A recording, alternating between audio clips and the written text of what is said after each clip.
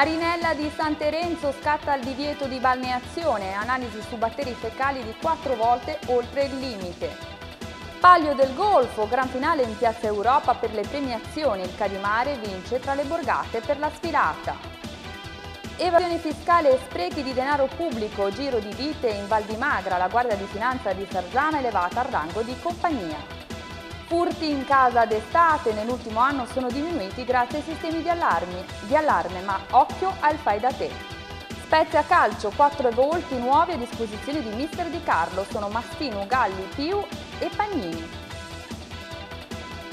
Buonasera e benvenuti all'appuntamento quotidiano con le notizie del TLS giornale. Come abbiamo sentito dai titoli, divieto di balneazione alla marinella di San Terenzo nel comune di Lerici. Le analisi effettuate periodicamente da ARPAL hanno rilevato una concentrazione di Escherichia coli oltre quattro volte il consentito. La zona è inaccessibile a causa di una frana che minaccia l'area balneare. Le cause di questi dati allarmanti, conferma la dottoressa Fabrizia Colonna di ARPAL, sono in corso di accertamento balneamento. Intanto il comune di Lerici ha emesso un divieto temporaneo di balneazione in questa località in attesa di successive analisi. Gran finale del Palio del Golfo con la cerimonia di premiazione ieri sera in Piazza Europa.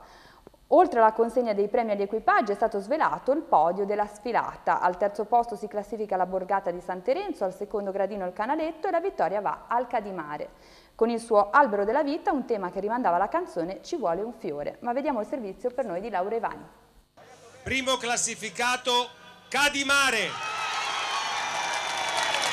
Il Cadimare vince la sfilata 2016.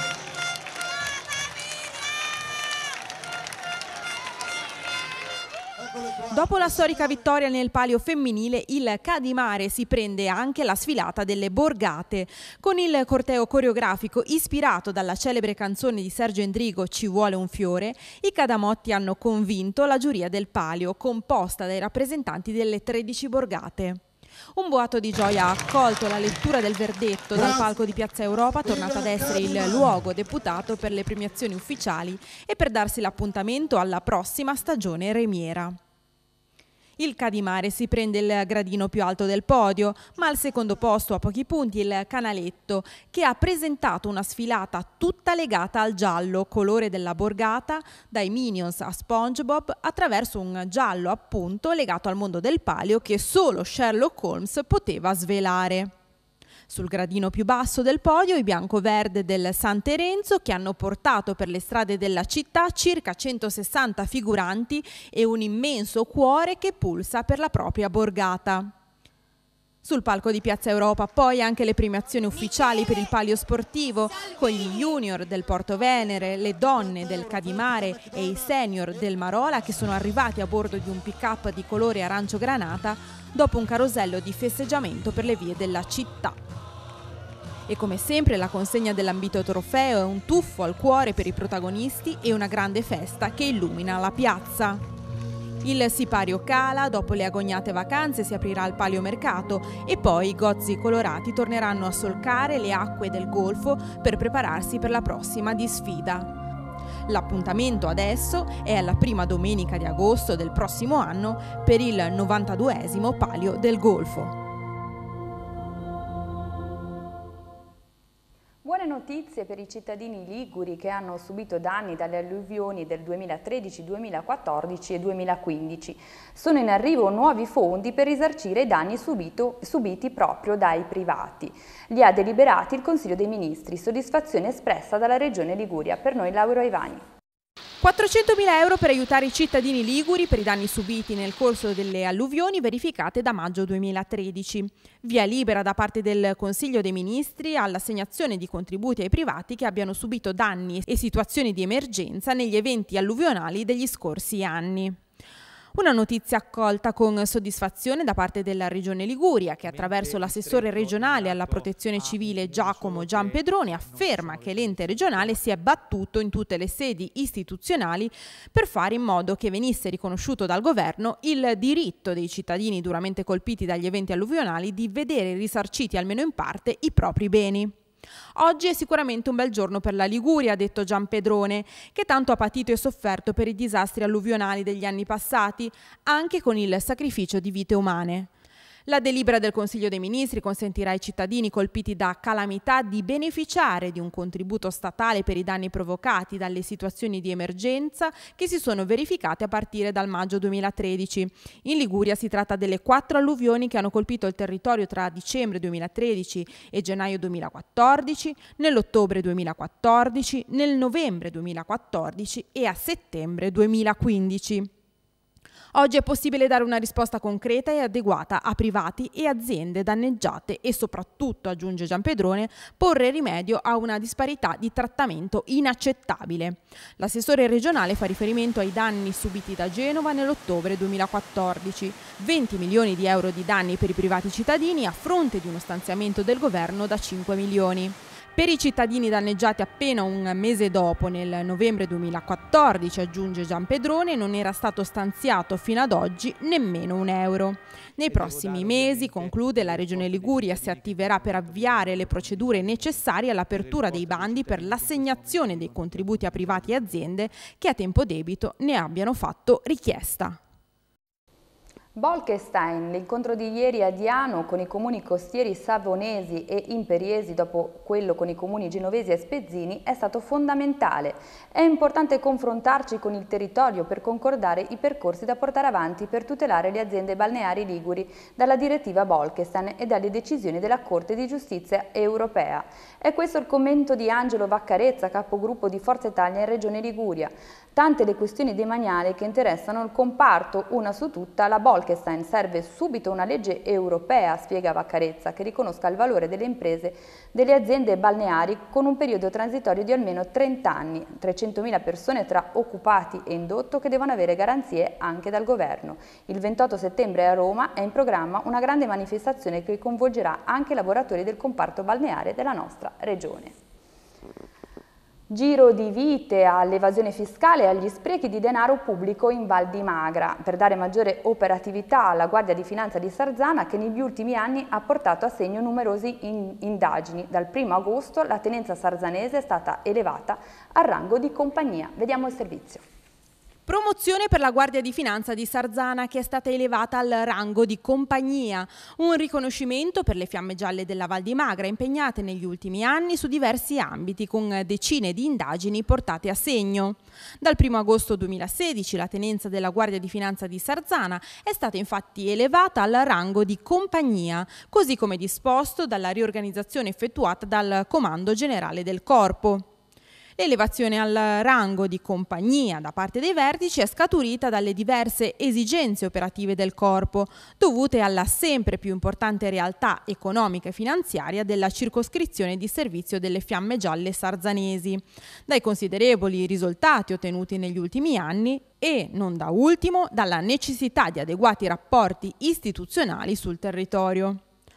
La nuova compagnia di Sarzana, che ha assorbito nella propria circoscrizione i servizi per i comuni di Arcola, Vezzano Ligure e Follo, è articolata su una squadra comando, una sezione operativa volante e un nucleo mobile ed è alle dirette dipendenze del comando provinciale. Una manovra che si inquadra in un rafforzamento dei presidi della Guardia di Finanza nella provincia spezzina, con l'obiettivo di portare a segno un giro di vite in tema di lotta all'evasione fiscale e agli sprechi di denaro pubblico. La compagnia di Sarzana è comandata dal tenente Salvatore D'Angelo al comando dall'8 luglio dello scorso anno. Furti in casa d'estate, secondo i dati nazionali, sarebbero in calo, ma visto che, che, ci avviciniamo al periodo di Ferragosto, ecco le contromisure possibili proposte da CNA Installazione Impianti. L'antifurto, tra l'altro, si può ditrarre dalle tasse. Vediamo il servizio. Furti in casa è in aumento il numero degli italiani previdenti. In Italia sono 3 su 4 le famiglie che hanno installato un sistema antifurto, anche una semplice porta blindata. Ma molti fanno ancora poco o attendono il primo furto per adottare contromisure. Eppure la prevenzione paga. L'intrusione nelle abitazioni dopo una decennale galoppata ha registrato finalmente una frenata. Poca cosa rispetto a un reato che genera comunque enorme allarme sociale. Significativa però l'inversione di tendenza, frutto non solo di una maggiore prevenzione pubblica, quanto, affermano a CNA Installazione e Impianti, di un cambiamento di mentalità. Al fai da te, al vicino attento o alla provvidenza si vanno sostituendo i sistemi di protezione. I furti negli appartamenti denunciati sono aumentati del 94% tra il 2005 e il 2015, ma secondo il Viminale la crescita si sarebbe arrestata. Tra gennaio e aprile 2016 le denunce di furti in appartamento sono calate del 15,9% rispetto al 2015.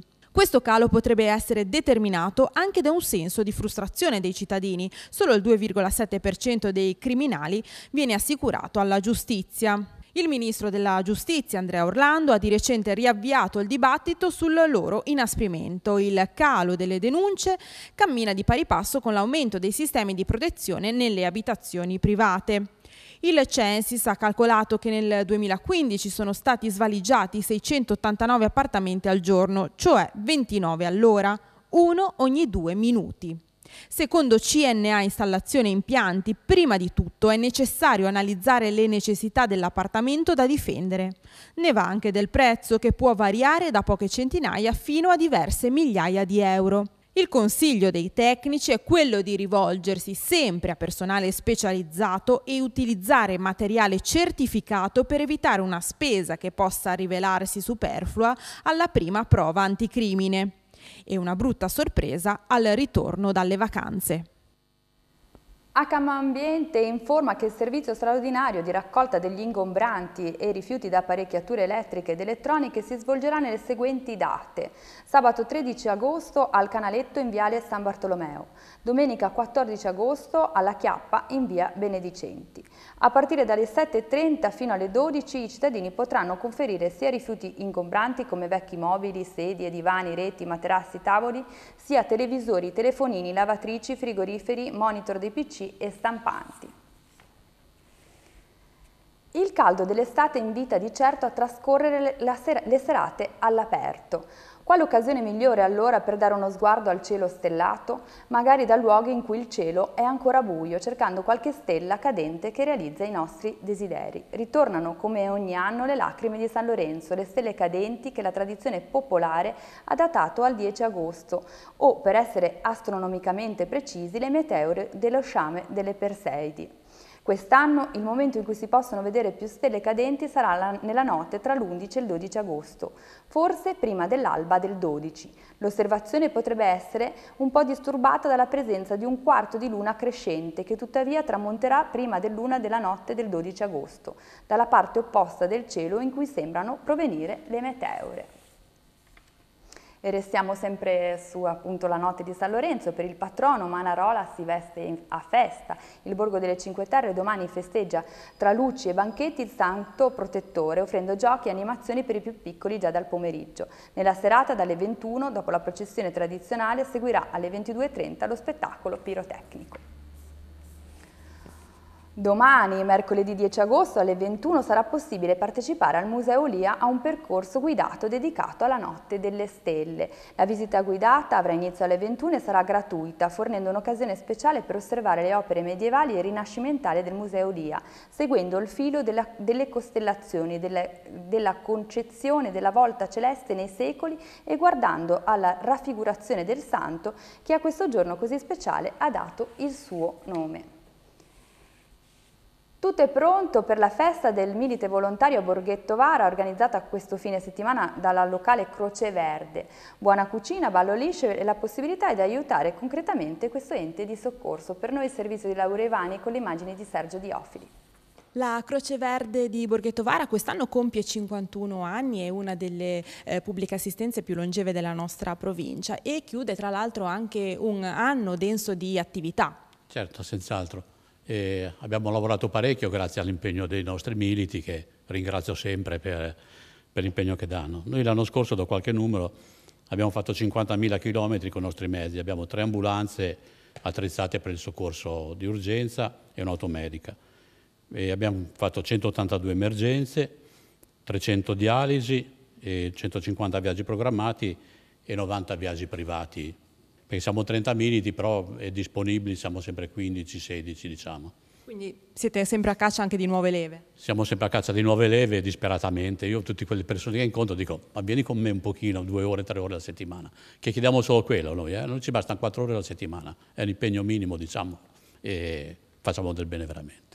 Ecco, questo fine settimana, 13 e 14 agosto, la festa del Milite Volontario, un momento irrinunciabile anche per la Croce Verde, ma poi per mm, Borghetto Vara e tutta la Val di Vara. Certo, sì, il 13 e il 14 agosto ci sarà la tradizionale festa del Milite Volontario e tutti gli anni insomma i nostri cuochi ci preparano un sacco di cose buone, tradizionali, ravioli fatti a mano, lasagne, polenta, immancabile l'asado e la porchetta, poi anche prodotti del territorio, salsicce di pignone, eh, prodotti di pasticceria che fa il nostro pasticcere lì sul posto, quindi insomma sono tutte cose eh, diciamo che ormai rendono questa festa una delle diciamo, feste più grandi che ci sono in circolazione, abbiamo circa mille presenze tutti gli anni, quindi questo ci fa piacere anche perché Insomma, la festa è anche un modo per dare un contributo alla nostra associazione. Importante partecipare proprio perché ci sono degli obiettivi, in modo particolare per riattrezzare un'ambulanza. Sì, eh, dobbiamo riattrezzare quasi completamente la cella interna dell'ambulanza, la 4x4 che abbiamo noi, che è indispensabile nella stagione invernale. Ci sono diversi lavori da fare e occorrono almeno, almeno 10.000 euro.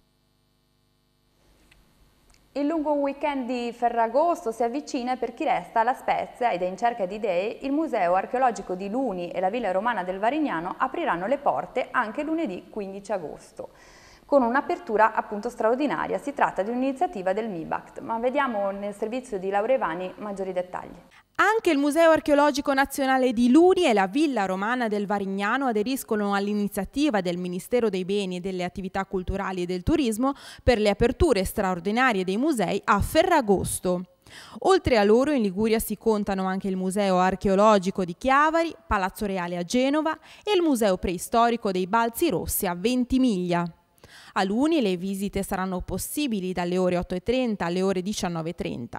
L'accesso alla Villa Romana, situata nel territorio di Porto Venere, è previsto invece dalle ore 14 alle ore 19.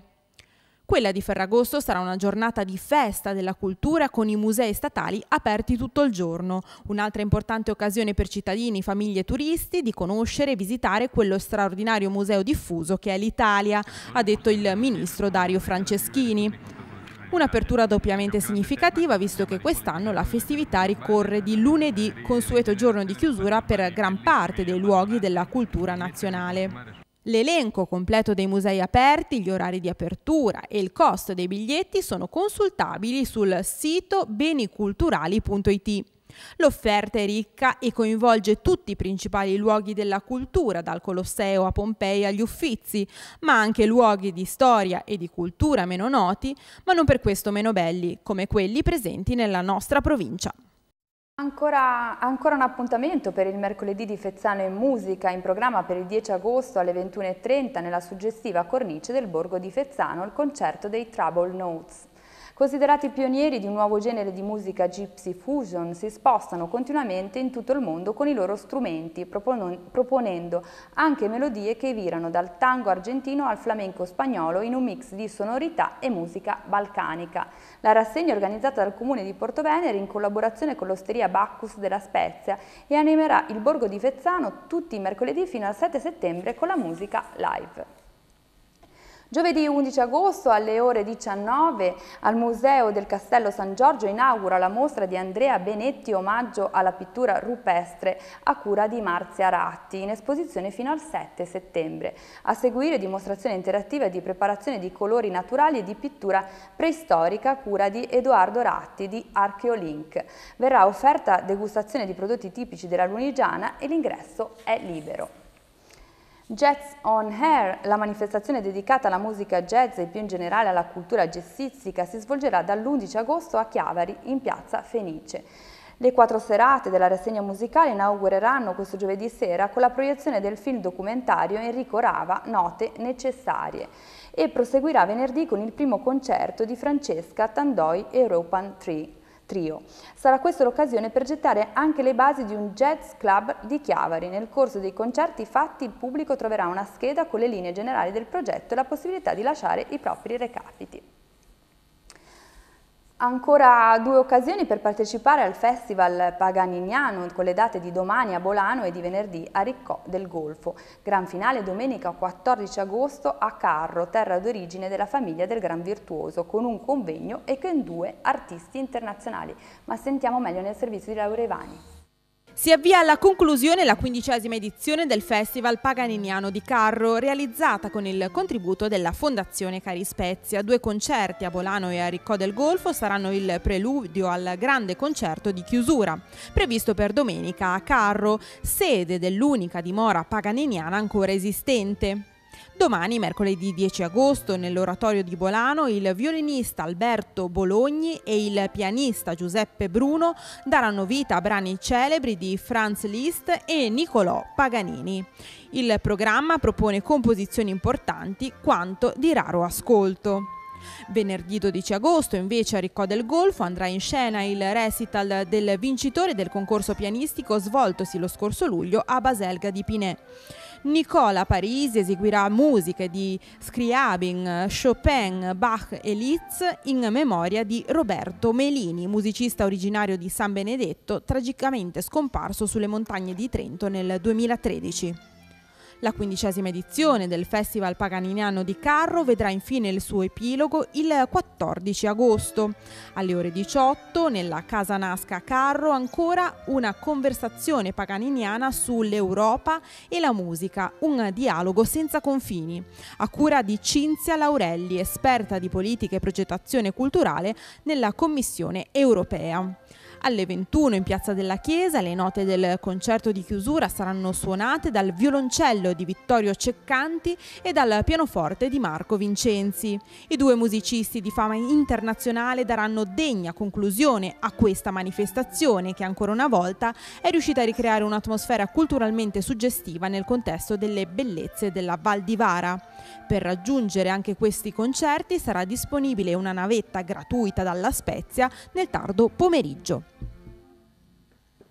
Giovedì 11 agosto il 25 Festival Massimo Amfiteatrof raccoglierà presso la chiesa di Sant'Andrea di Levanto la Leader Band, serata totalmente dedicata ai leader, composizione per voce solista e pianoforte. Il concerto vedrà protagonisti il mezzo soprano Carolina Crogius e il pianista Ettore Prandi. La parola Lied è traducibile in tedesco come canzone. Nella storia musicale tedesca i Lieder rappresentano una componente essenziale e nell'opera di Schubert e Schumann assumono un valore di alto significato tecnico ed estetico. Il programma di Carolina Crogius ed Ettore Prandi includerà i grandi leader di Schubert, Britten e Sibelius. Questa mattina sono convolati a nozze a Palazzo Civico l'assessore alla sostenibilità ambientale Laura Ruocco e il compagno di una vita Bruno Mencarelli. La cerimonia tenuta dal sindaco della Spezia Massimo Federici si è svolta alla presenza del figlio della coppia Pietro Elia. A loro giungano le felicitazioni anche da parte nostra, da parte di Teleriguria Sud. Alla presenza del direttore sportivo Pietro Fusco nella sala polifunzionale del Ferdeghini sono stati presentati quattro dei nuovi volti dello Spezia di Mister Di Carlo. Si tratta di Jacopo Galli, Giuseppe Mastino, Jacopo Pagnini e Alessandro Pio. Vediamo un estratto della conferenza stampa. Buonasera a tutti, innanzitutto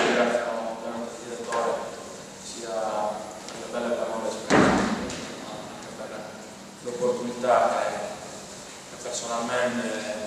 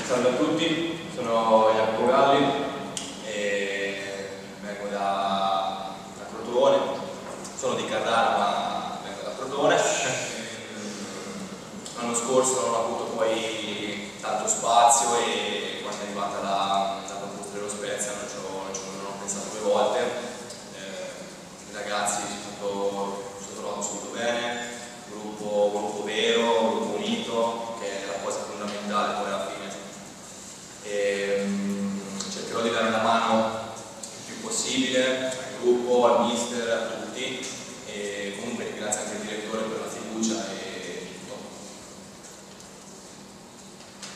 Buon pomeriggio a tutti, sono Jacopo Pagnino e vengo da Pistoia. Eh, L'anno scorso ho fatto la serie di Campo Gigonzi, quindi vengo dal basso come Beppe e sono un ragazzo più giovane del gruppo, essendo 97 e qua a Spezia è un'opportunità fantastica e grazie anche per delle parole che ha espresso per, verso i miei confronti e per l'opportunità che mi ha dato per essere qua. Sono qua per imparare perché essendo un giovane e darò il massimo per, per dare una mano al gruppo e giungiamo ora in conclusione di telegiornale con le previsioni del tempo per domani, mercoledì 10 agosto. Il passaggio di una perturbazione determina condizioni di instabilità con rovesci e temporali sparsi. Sulla costa sia al mattino che al pomeriggio il tempo sarà variabile con possibili rovesci. L'umidità sarà su valori medi. I venti al mattino saranno deboli da est e sud-est a levante, temporanea attenuazione nelle ore centrali e nuova rotazione da nord in serata. Il mare sarà generalmente mosso. Le temperature oscilleranno da una minima di 21 gradi ad una massima di 28. Questa è la nostra ultima notizia, io vi saluto e vi auguro un buon proseguimento di serata. Arrivederci.